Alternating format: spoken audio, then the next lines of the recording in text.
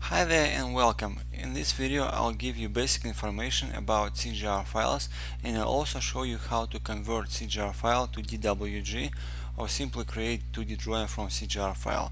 So first of all if you cannot uh, just drag and drop your CGR file into CATIA window and it doesn't open for some reason what you should do you should uh, create a new product file by simply file new and just choose product file from the list and here after you create product file you'll just have to insert CGR file as existing component just like this.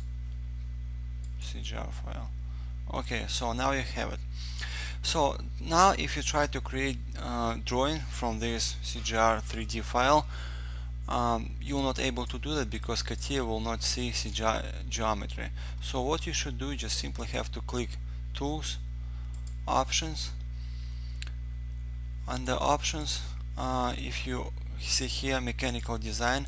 Under mechanical design please open drafting. And under drafting see view tab.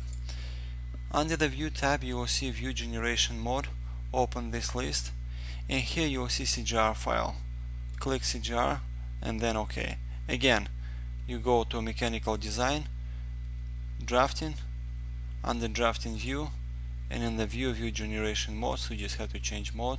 CGR okay now click OK. Now you have to go to your uh, drafting window drawing window.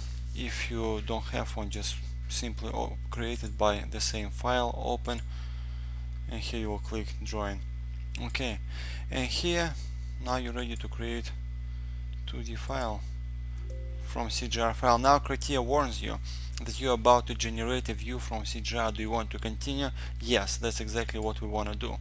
Now go back to your product file window. And now have to see the surface, which will be your front surface, front view. Now you can turn it upside down, rotate it, do whatever you want. After you're done, just click somewhere an empty space with the left click and you see now you created drawing through uh, from CGR file. I hope this video was helpful. Thank you so much for watching. Bye.